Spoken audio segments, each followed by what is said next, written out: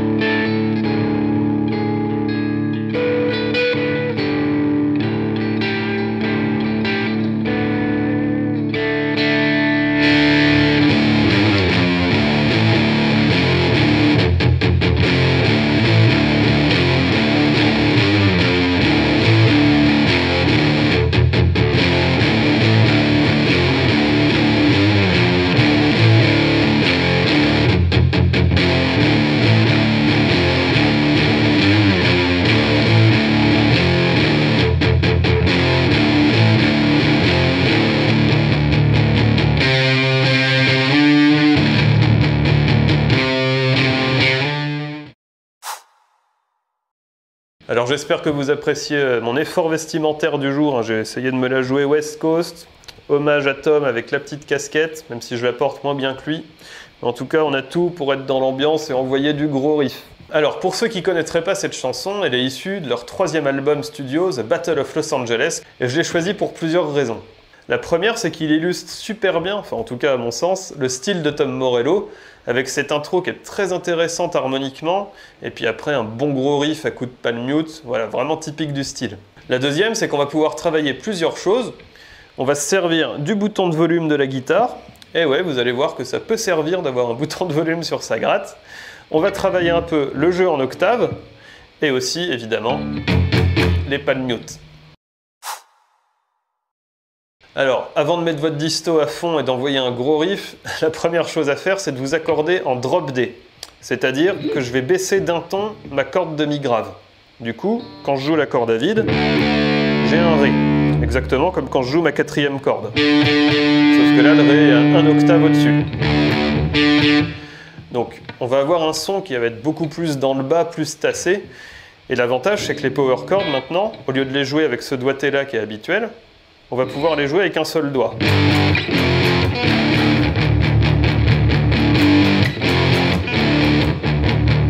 Voilà, du coup, on a un son qui est beaucoup plus bourrin, disons les choses. Une fois qu'on a fait ça, on va pouvoir allumer sa disto. Donc pour le réglage de la disto, vous pouvez utiliser soit une pédale, soit votre ampli, il n'y a pas de problème. Vous pouvez pousser pas mal le gain, mais sachant que ça sert strictement à rien de le mettre à fond, à part avoir une grosse bouillie sonore, ça ne va pas améliorer votre son. Donc mettez-le à la moitié ou aux trois quarts, parce qu'il faut quand même qu'on garde un peu de précision. Et au niveau de l'égalisation de l'ampli, vous pouvez mettre, euh, voilà, en gros, les basses vers 6-7, les médiums, vous pouvez les baisser un peu autour de 4, et puis monter un petit peu les aigus aussi sur 6-7. Ça va vous permettre de creuser un tout petit peu le son pour avoir un peu plus d'assise. Une fois qu'on a fait nos réglages, on va pouvoir s'attaquer à la première partie du morceau. Et pour ça, plutôt que d'éteindre ma pédale de disto, je vais baisser le volume de ma guitare. Donc là, ça va un peu dépendre des guitares, mais là, je suis entre 2 et 3 sur mon volume. Ça me permet d'avoir un son qui est un peu crado, mais en tout cas qui est vraiment dans l'esprit de ce qu'on veut sur ce morceau. Et de pouvoir après directement avoir mon gros son sans devoir enclencher la pédale. On va s'en servir plus tard, on l'entend clairement dans le morceau, cette augmentation du volume à la guitare. Donc voilà, je me remets sur cette position. Et donc là, on est parti sur le premier riff.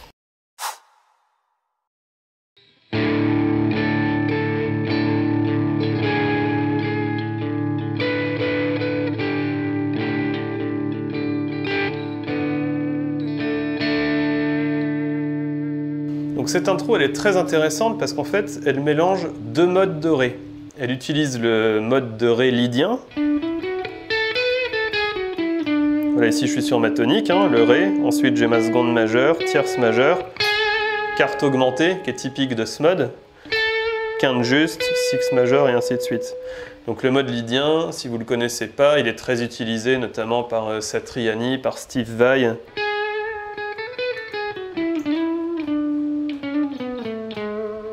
Ce genre de sonorités un petit peu étranges qui sont typiques de cette suite de notes. Par contre, dès qu'on aura joué la six majeure, on va retomber après sur une carte juste. Ça veut dire que là, on va changer de mode et que cette fois-ci, on va utiliser le mode ionien, c'est-à-dire la gamme majeure de Ré habituelle. Voilà, donc là ici je suis sur la gamme majeure, hein, fondamentale, seconde majeure, tierce majeure, quarte juste, quinte juste, sixte majeure. Je vous remonte le mode lydien. Voilà, c'est là qu'il y a une seule note qui change. C'est ma carte augmentée ici en lydien qui redevient carte juste en ionien. Donc si je redécompose le plan, j'attaque sur la quinte juste, ensuite carte augmentée, Là, je vais chercher la sixte majeure. Ici, quarte juste, donc c'est là que je fais la bascule et que j'arrive en ré ionien. Et ensuite, sixte majeure et quinte juste que je joue à l'octave inférieure. Hein, c'est les mêmes notes là.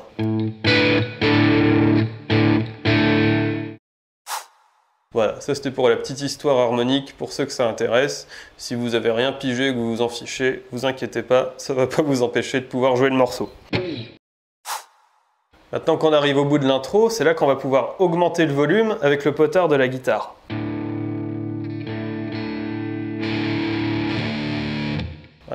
Donc par contre, pour que ça sonne bien dans le morceau, il ne faut pas le faire n'importe quand. Si vous le jouez comme ça, votre augmentation de volume, euh, ça va être tout moche. Donc il faut arriver à bien le caler sur les temps, et ça tombe vraiment sur le quatrième temps. On est comme ça, on est 1 et 2 et 3 et 4 et 1 et 2 et 3 et 4 et...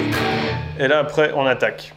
Maintenant je vais rejouer une fois la fin de l'intro sur une boucle rythmique pour que vous puissiez bien entendre le placement. 1 et 2 et 3 et 4 et...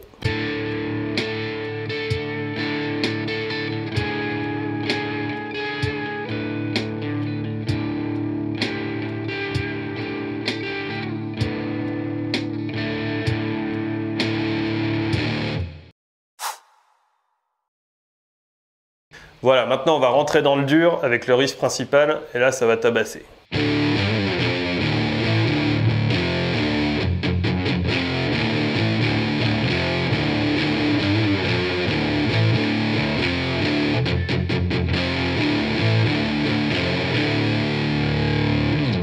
Ici, on va se servir des octaves. La particularité, c'est que vu qu'on est en drop D, on ne va pas utiliser la position d'octave habituelle, N'oubliez pas qu'on a descendu notre corde d'un ton, donc du coup il faut qu'on compense l'écart en remontant notre doigt ici.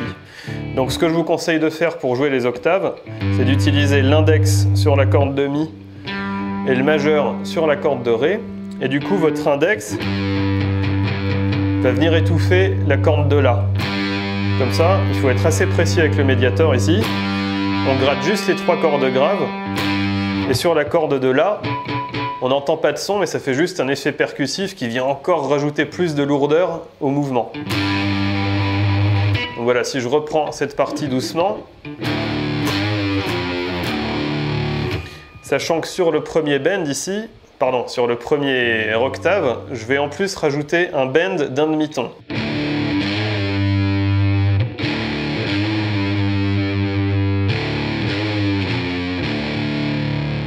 Voilà, donc si je le pose sur une rythmique, ça va me donner 1 et 2 et 3 et 4 et 1 et 2 et 3 et 4 et 1 et 2 et 3 et 4 et 1.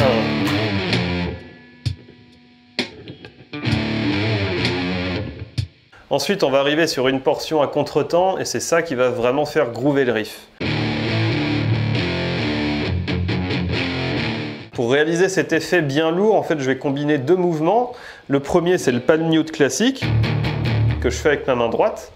Et le deuxième, c'est que je viens en plus poser ma main gauche à plat sur les cordes. Donc vraiment, j'exerce pas de pression, hein. je les dépose vraiment euh, sans forcer sur les cordes. Un petit peu comme si je voulais faire des harmoniques, sauf que je pose tous mes doigts dessus pour vraiment tout étouffer. Et du coup, le fait de mélanger les deux gestes, ça me permet d'obtenir ce son vraiment très puissant. Si je reprends une fois en rythme tout le riff,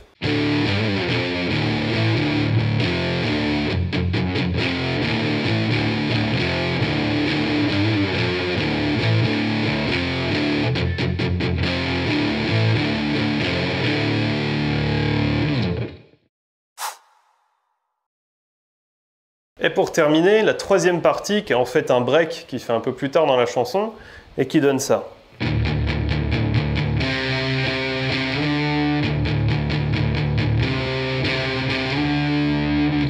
Donc sur cette partie-là, rien de compliqué par rapport au reste. On attaque en palm mute. Et ensuite, on vient terminer avec deux octaves, le Do et le Ré. 1 et 2 et 3 et 4 et...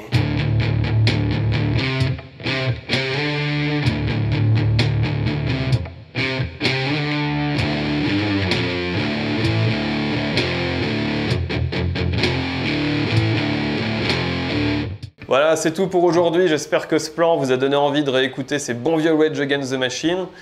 Il y aura encore plein de choses à dire sur le jeu de Tom Morello, notamment tous les effets qu'il utilise. Ce sera sûrement l'objet d'une prochaine vidéo. En attendant, j'espère que ce tuto vous a plu. Si c'est le cas, laissez un like et n'hésitez pas à vous abonner à la chaîne. Et je vous dis à très bientôt pour une prochaine vidéo.